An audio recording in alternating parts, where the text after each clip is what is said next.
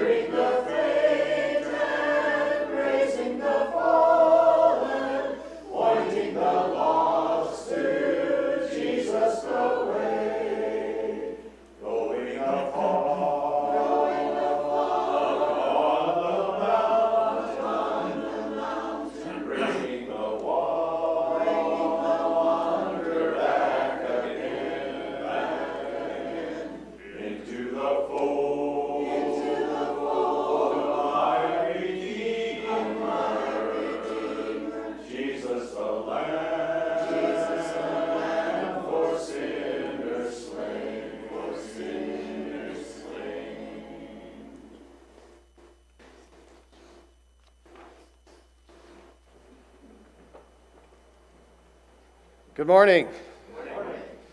On behalf of the elders, I'd like to welcome you to the church that meets here at Mountain View.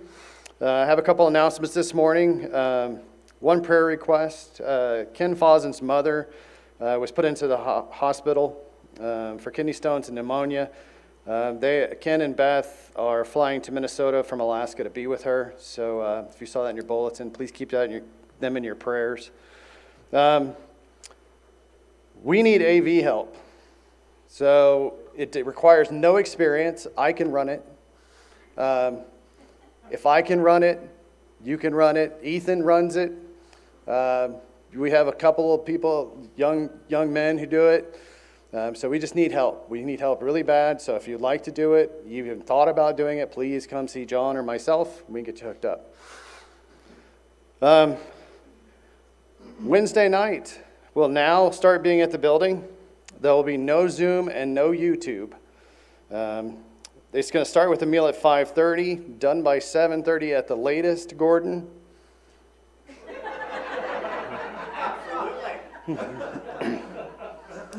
uh, please come uh, for food for the body and the soul. Um, it's all the announcements I have. Let's go to our Heavenly Father in prayer. Dear Heavenly Father, Lord, be with us as we go throughout this day. Lord, help us to worship you in a manner that's pleasing to you. Lord, please be with uh, Ken Fozen and his mother and their family. Uh, help her to, to get better. Uh, be with Ken and Beth as they're flying. Help them be safe. Lord, be with us as we go throughout this week and help us to ever be mindful of you. In Jesus' name we pray. Amen.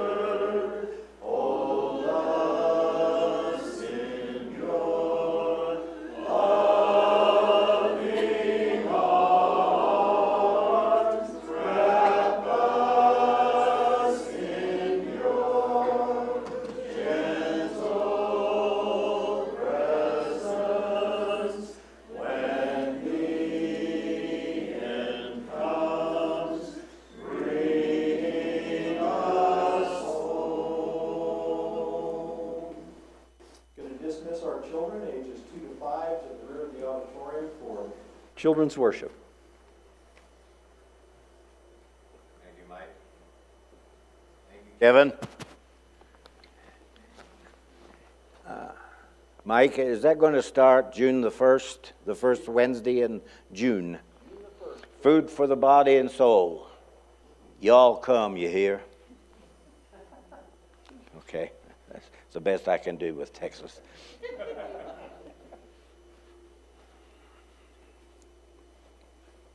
Well, good morning, church family and friends.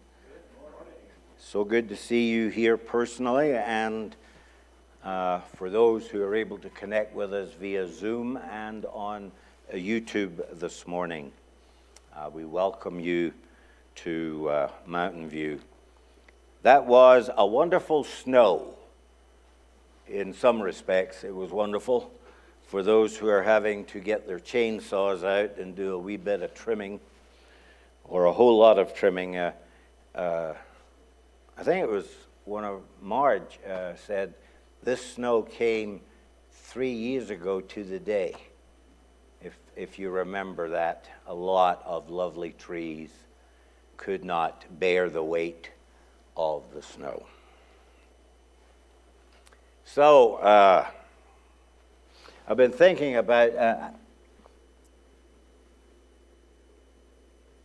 I've resurrected an old sermon from the dead. And I've redone it for you. Hopefully, with some new uh, thoughts and insights. Um, There's only one word I could come up with to say to you, one single word, and maybe we could have the invitation, Kevin, right after that. is ba. Yeah. Ba, not humbug. I want to talk about revisiting Psalm 23.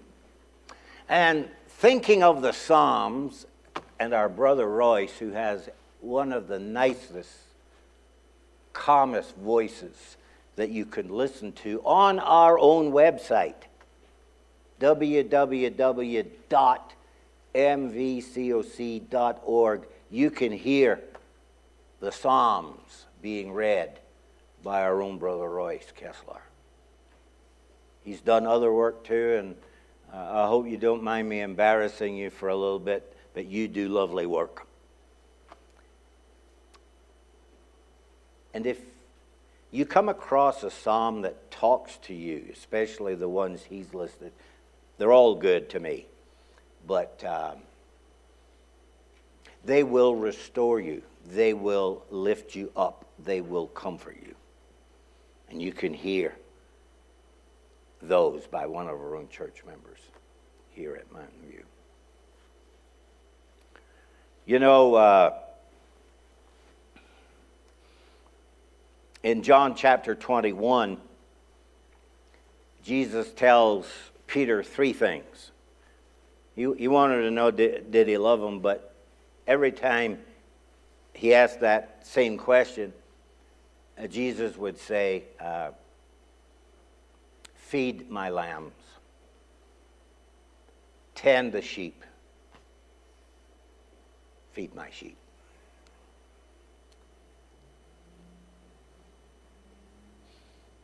So, if I can get this to work here.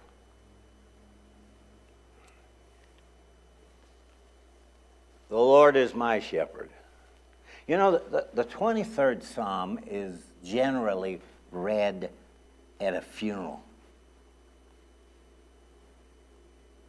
I don't see it that way as being the perfect fit for a funeral. Yes, we, I've read it many a, many a time at a funeral. There's nothing wrong with it. But what about for the living?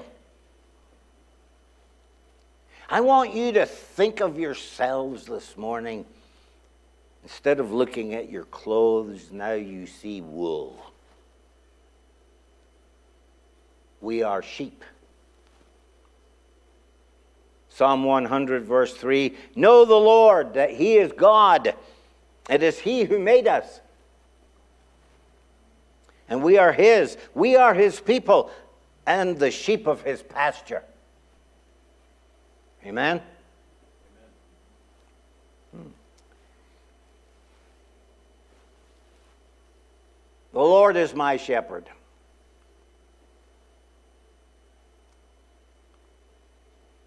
I need to go back to that one. There we go. I have a little deadness in my thumb today. That talks about our relationship to the Lord. Have you ever seen a happier sheep? Huh? This is what Jesus said in John 10 and verse 14. I'm the good shepherd. I am the good shepherd, and I know my own, and my own know me. Shepherds have such wonderful skills. They know every single lamb and every single ram and sheep in their flock. You know, have you ever wondered why the Holy Spirit chose to call actually elders shepherds? And how the church is referred to as the flock. We're not talking about geese here. We're talking about sheep. You know, the funny thing about sheep is sometimes they have a very poor sense of direction. They need a shepherd. They need a good shepherd.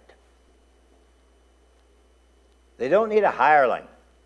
They need a real shepherd who, you know, uh, Lynn Anderson, uh, if you've ever read any of his books or articles, uh, Brother Lynn Anderson passed away uh, just recently of uh, lung cancer. And he wrote a book called About the Eldership How They Smell Like Sheep.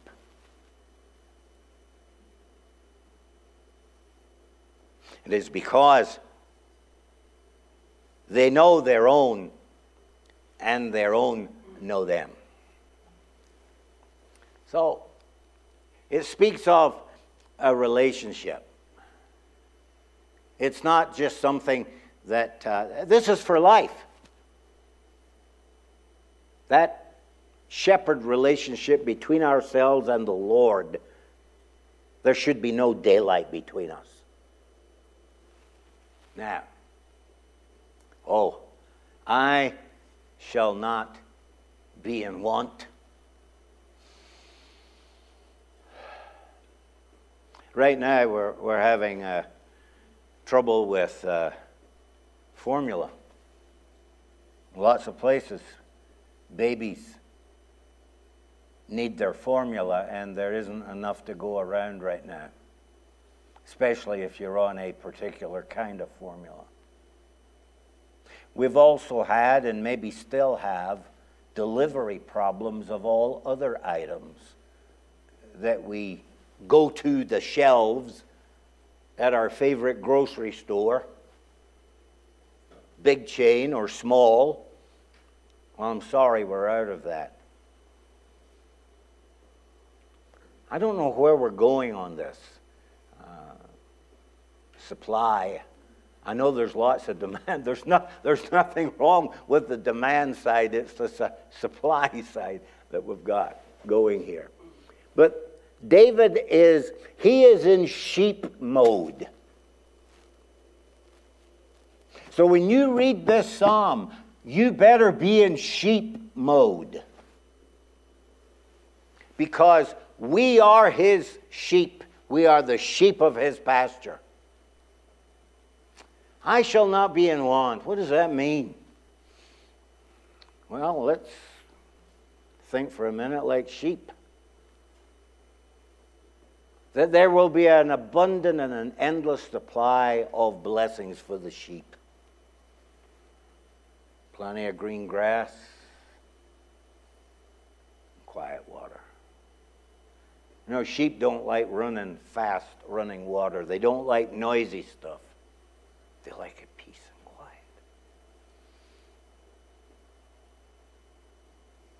Jesus talked about the abundant life, and you shall have it abundantly. You won't lack for anything. You know, it's not like tomorrow morning you go to your bank account and all of a sudden there's an overabundance of money in your checking account. It, it doesn't work like that. I'm not talking about things like that.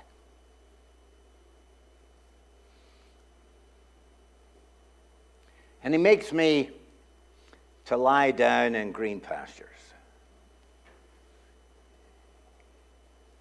What does that bring to your mind, green pastures?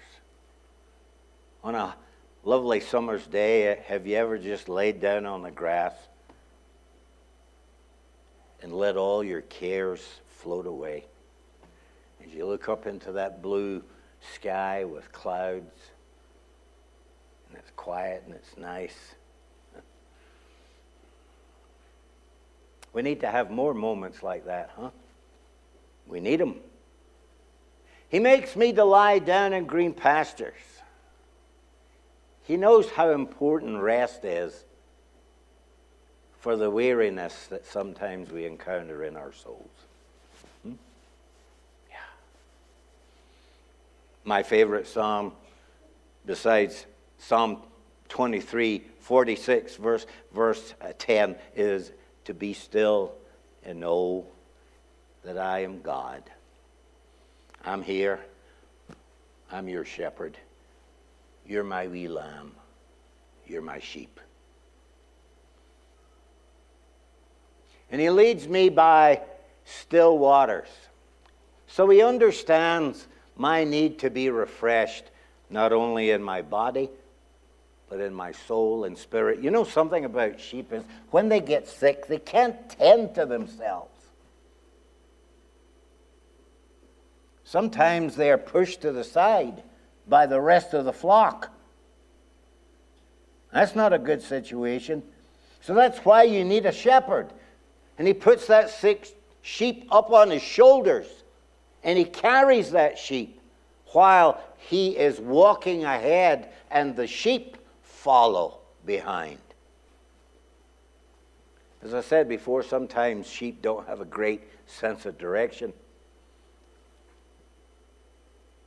If one sheep falls off a cliff, there is a tendency for many in the flock to follow because they don't have a shepherd shouting over this way.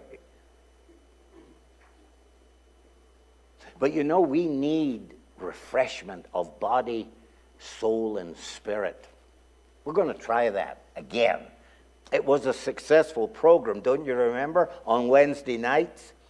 We're hoping that it will build up our numbers and build up more of our children to come with their parents. Parents, I appeal to you bring your kids on Wednesday night starting on June 1st. We will have food for your and their bodies, for all of our bodies, and food for our souls too. It's time.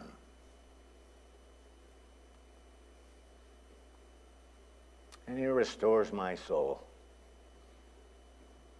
You know, there's something about refreshment in all three departments body, soul, and spirit brings restoration. Only the chief shepherd can soothe and heal all my wounds, all your wounds and all your hearts.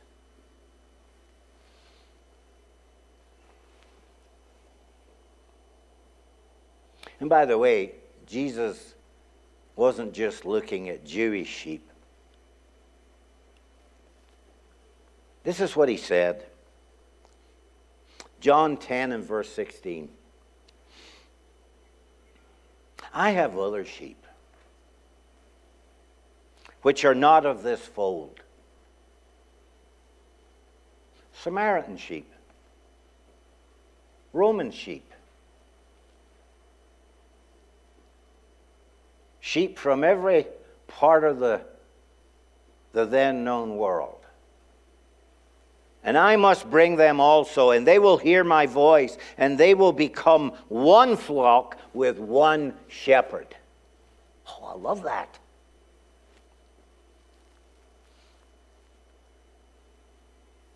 And so he leads me in the paths of righteousness. Our chief shepherd never puts a foot wrong. And that song, Where He Leads Me, I will follow. There's a difference between styles of shepherding. In some parts of the world, the shepherd drives the sheep, pushes the sheep, which is odd. But in the Middle East, the method was you spent time enough with the sheep to call the sheep by their names. You know, I'm not sure, you know, when they were doing this, Royce, they were going, one, how are you, Fred? Boom, boom. You know, counting sheep. Uh, somehow, he was able to have this relationship, a rapport with his flock. And so the idea of where he leads me, I will follow. Look at the shepherd in that picture. He is just a little way ahead. And if he wasn't there, they'd get into trouble. Am I right? You know something? When a church loses elders, they're shepherds, and they have none, it can turn to chaos. Oh, God knew why elders and shepherds were needed to feed the flock, to tend the flock, and to take care of the lambs, the young ones. and for his name's sake. You know, by knowing the name of the shepherd, and, and God as a shepherd has lots of, lots of good names. By knowing who he is, I can understand, we can understand, all of us can understand his purpose and will for all of us.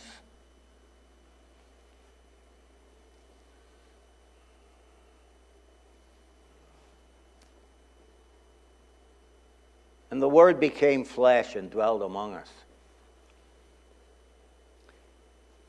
And Jesus said of himself, I'm the door. He's also the shepherd. But I'm the door, and ever, anyone enters through me, he will be saved. And he will go in and out and find pasture. I love that.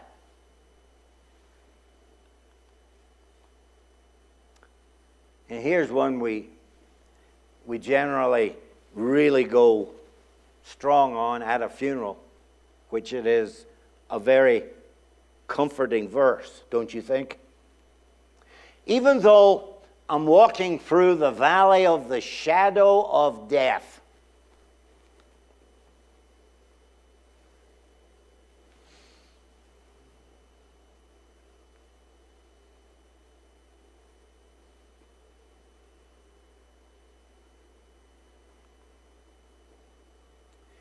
He will never leave me. He'll never leave me in the dark.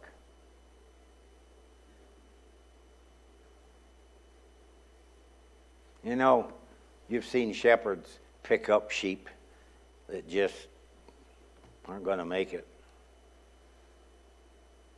because they just can't go on. And they put, they put that sheep up on their shoulders and they give it TLC. Even though we're going through some bad times, dark times, where we have known death, and seen death. Hard times, stressful times. He will never leave you out in the cold or in the dark.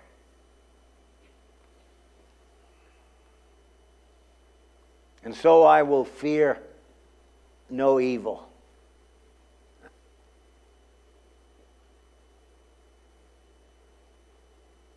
The devil doesn't frighten me anymore. I will fear no evil because I am protected. I am safe in his arms. And like the end of the book of Hebrews, what can man do to me? Because we have the great shepherd.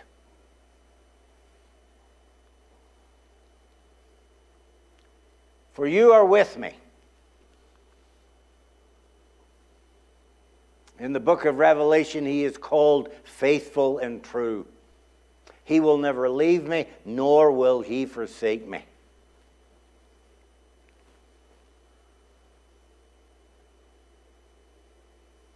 I'm sure the, the disciples had played over and over again how they forsook the Lord, and yet he, he told them, Some of you, all of you this night will forsake me. In fact, he says, All of you shall be offended because of me this night. This is Matthew 26, 31. For it is written, I will smite the shepherd and the sheep of the flock.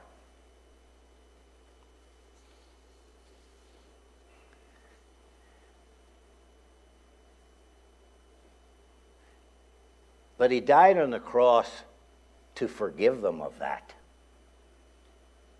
Hmm? After the resurrection, it was a different story, wasn't it? Satan could not defeat the great shepherd. Your rod and your staff. And you know, that is that first back part there, Mike, is not a fishing reference. Your rod and your staff, they comfort me. The Lord disciplines the one he loves. That's what Hebrews chapter 12 is all about. And so I think the psalmist here, who is David, he is thinking like a sheep. We need to think like sheep sometimes. And when the Lord disciplines us, I know it is difficult. It's hard, but the Lord only disciplines those he loves. And we should draw comfort from that. That he wants us to be better and knows we can be better and serve better and love better and you prepare a table. I like this little picture here of the wolves.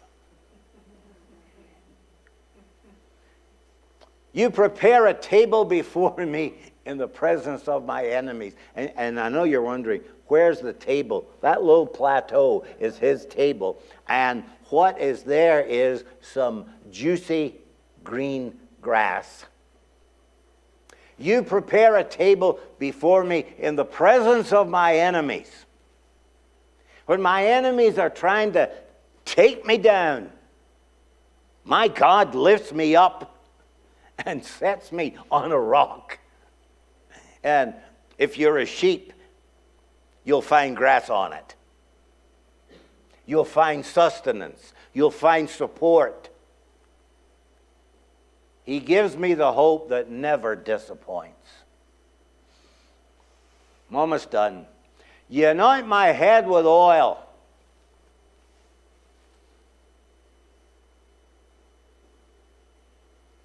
A shepherd will anoint the cuts and the bruises on the feet of the sheep and the lambs because they, they go over some rough terrain, don't they? And sometimes they stumble and fall. And one of the chief things in a shepherd's bag is a little bit of oil and a little bit of salt, too. What did the Good Samaritan do? He poured oil and a little bit of wine into the wounds of the man who was beaten up. And like he was that guy's shepherd, he carried him. Well, he actually put him on his own beast of burden and took him to Motel 6. No, he took him to an inn, and those inns were few and far between. But the innkeeper knew the Samaritan and was good for, I'll be back in a few days, and if there's anything else that needs to be paid, I'll take care of the bill. Wow. He has sanctified me in the ministry and work of the Holy Spirit. Anointing. You only have to read 1 John chapter 2 to get a sense of that. And my cup overflows. For me, there is a bountiful supply of His grace and His mercy. Shepherd always has something for the sheep. And surely goodness and mercy shall follow me all the days of my life. Are you still with me, sheep? All right. I was going to ask you to say Bob, but I don't want to embarrass you. God's promise to pour out his abundant blessings upon me. We shall always be blessed.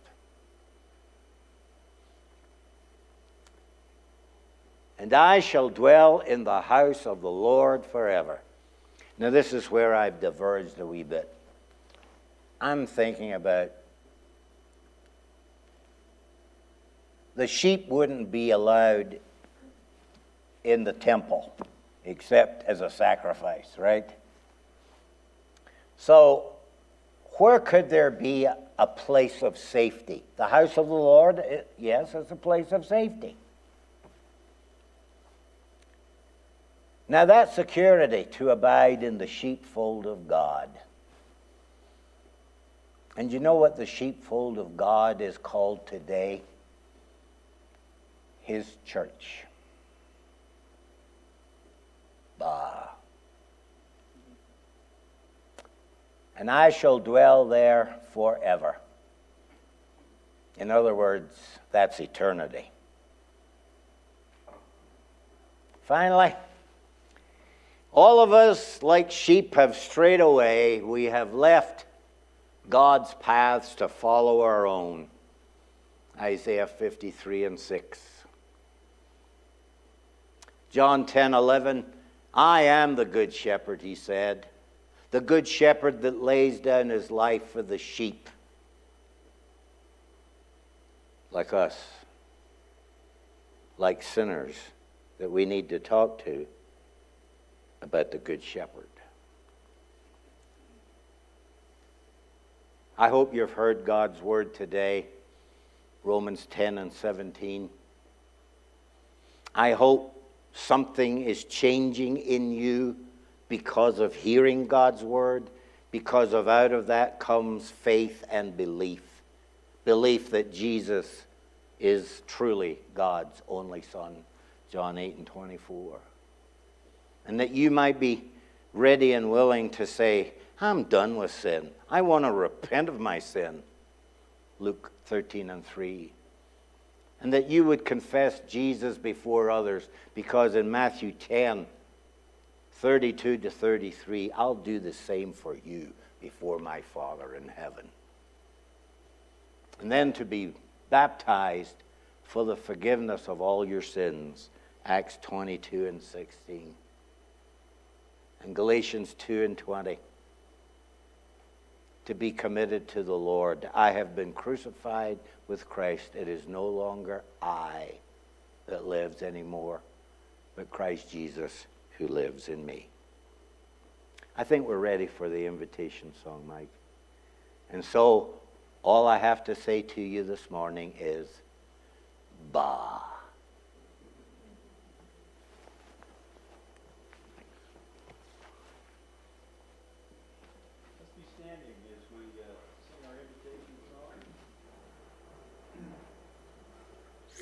There's a fountain free just for you and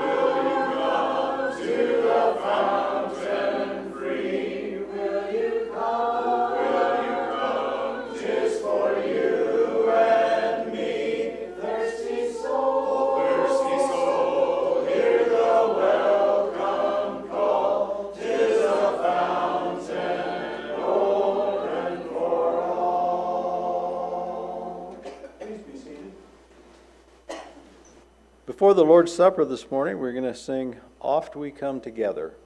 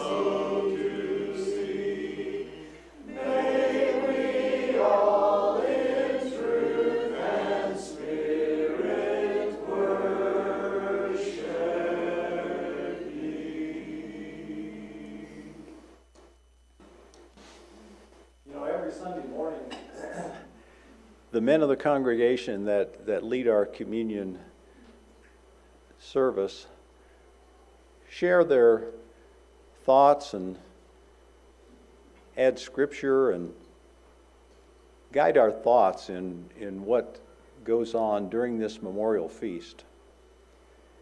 I came across something that uh, I want to share this morning to help us guide our thoughts during communion this morning.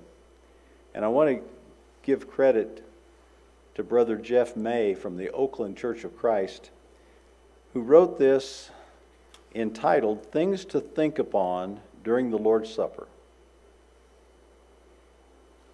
He begins first Think about your covenant or your agreement with God. Remember that when you became a Christian, you promised God you would honor him by living as a Christian should. And he agreed to be your God. You agreed to be his child. During the Lord's Supper, you can reflect upon your covenant with God. Jesus made this clear in Matthew 26, verse 28, when he said, This is my blood of the covenant, which is poured out for many for the forgiveness of sins. The Lord's Supper also becomes a great time to examine our lives. 1 Corinthians 11, verses 27 through 31 says, So then, whoever eats of the bread or drinks of the cup, of the Lord in an unworthy manner will be guilty of sinning against the body and the blood of the Lord. Everyone ought to examine themselves before they eat the bread and drink from the cup. For those who eat and drink without discerning the body of Christ eat and drink judgment on themselves. That is why many among you are weak and sick, and a number of you have fallen asleep. But if we were more discerning with regard to ourselves, we would not come under such judgment. So, am I keeping up my end of the agreement? The supper can be a moment of great resolve to be all that we can be for the Lord. Next, we can think about the body of the Lord. No one impacted the world more than Jesus. All that he did, he did with his body. How does he impact the world today? It's still through his body, the church. We are his hands and his feet, his eyes, ears, and mouth today. As you partake of the bread today, which represents his body, you might think about your role in his body do you realize that God has given you certain abilities He wants you to use in His body? Just read 1 Peter 4, verse 10. Each of you should use whatever gift you have received to serve others as faithful stewards of God's grace in its various forms. So, are you doing your part in the body of Christ?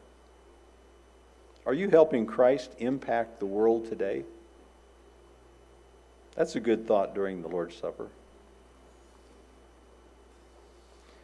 And then think about Jesus as the bread of life. The bread you partake of is symbolic of his body, which died to give you life. Jesus is the bread of life, John 6 35. As you share in that bread today, are you sharing him with others? Are there others you could share him with? Think about those who are yet thirsty and hungry for an answer to their soul's deepest longing. Share the Lord. We can think about the blood of the Lord. As you partake of the fruit of the vine, it might be a good time to ask the Lord to help you to never do anything that would show a lack of appreciation for his spilled blood.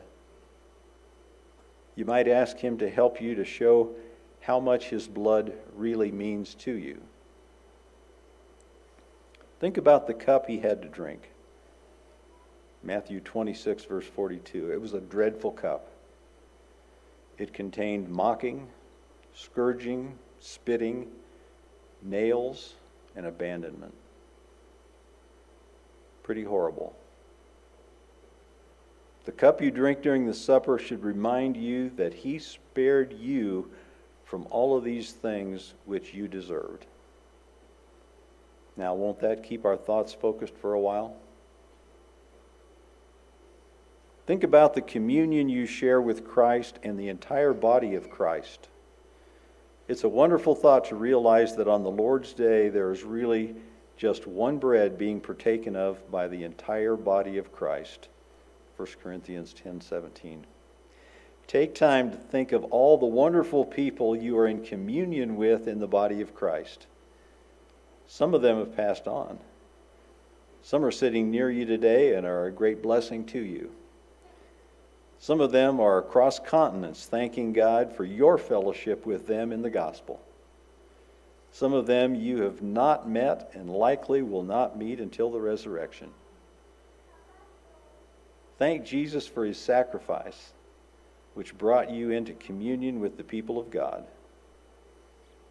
So these are just a few thoughts that could fill our minds right now during the Lord's Supper. Would you pray with me? God our Father, we just thank you so much. We thank you that you did institute this memorial feast at, for a time that each first day of the week we can pause and remember you. Remember our covenant with you, our agreement with you, and remember all that you've done for us. Father, thank you so much for your love, for your care, for your blessings, for your mercy and your grace. And thank you so much for the precious sacrifice that Jesus made to give us life, for he indeed is the bread of life. Father, we pray your blessing upon this bread at this time. Help each one of us to remember the significance of the, the body that he gave for us and that the body that he left for us here on this earth to be of service to you. We thank you, and it's in his name that we pray. Amen.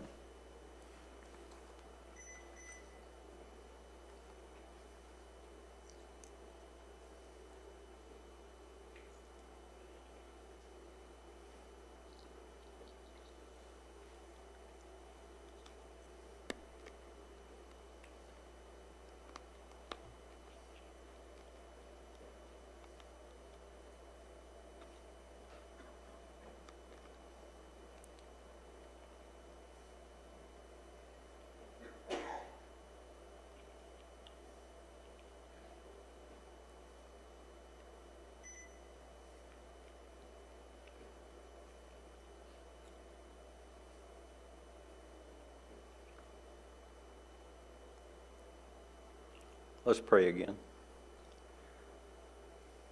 Heavenly Father, at this time we pause to remember the blood that was shed for us, the precious innocent blood of your Son that he shed to give us life, a blood that is so powerful that it can wash away our sins, make us acceptable once again to you. Lord, we pray your blessing now upon the cup that we partake of, and help each one of us to partake in a worthy manner this morning. In Jesus' name, amen.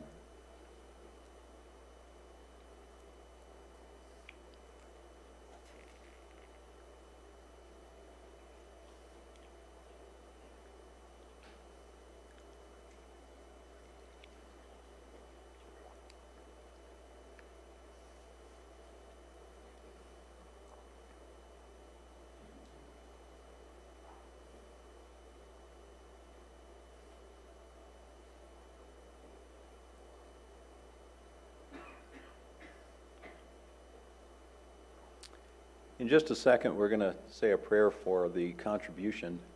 But I just wanted to mention uh, that if you're not aware, there is a, a basket on the table between the two auditoriums for your contributions. Or those monetary contributions can be uh, mailed to the church building address, either way. In addition to giving of our financial means, the Lord has blessed each one of us with talents and abilities that we need to be using in His service. Let's pray. God our Father, thank you for the day that you've given us. Thank you so much for the opportunity that we've had to gather and worship to you this morning. And Lord, we just can't thank you enough for all the many, many, many blessings that you've showered upon us. We're so grateful for the, the Mountain View congregation, this fellowship of believers that, that we can serve with. We thank you for the talents and abilities that you've given to each one of us. And we just pray that you would give us the, the energy and the ambition to use all that we have in service to you. Father, you've just blessed us with material things, and we just pray that these contributions can be used to effectively spread the good news in this world. These things we pray in Jesus' holy name. Amen. Let's be standing for our closing song, and then Roger Stepanek will dismiss us with a word of prayer. Bind us together, Lord, bind us together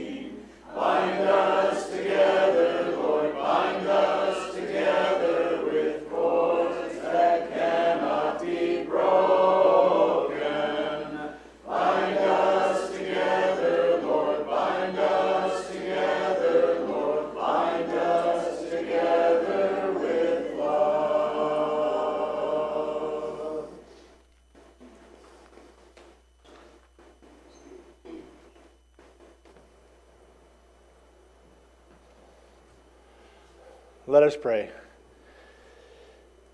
Dear Heavenly Father, we thank you for another wonderful day. We thank you for the moisture that you've given us. We thank you for this congregation. But most of all, we're thankful for your Son and the obedience that he had and the love that he had for you and the love that he had for us. We thank you for all that you do. We ask that you help us to glorify your name as we go out into the world. Help us to be your light that shines onto this world. We ask also that you be with this congregation and the elders. Help to bless this congregation and help us to do your will. And this we pray in Jesus' name, amen.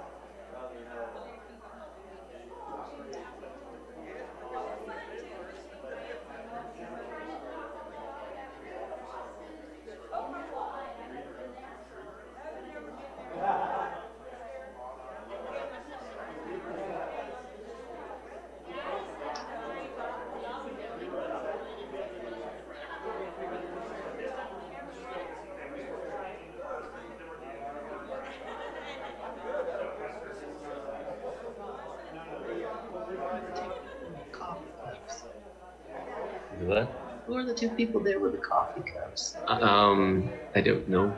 Yeah.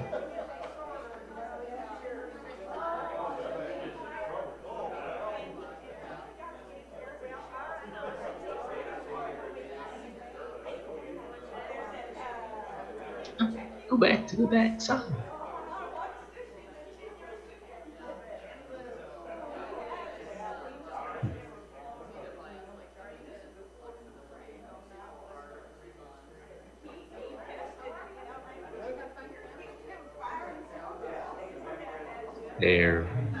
What did you do to get that? I didn't.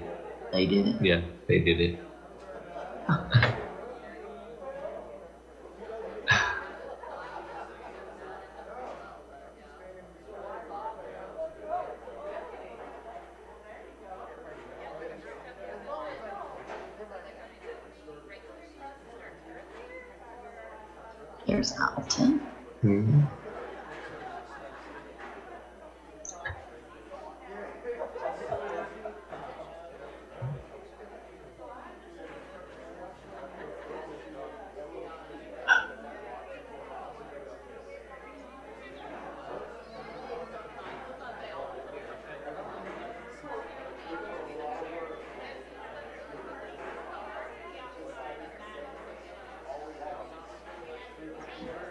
Aim it back at the door.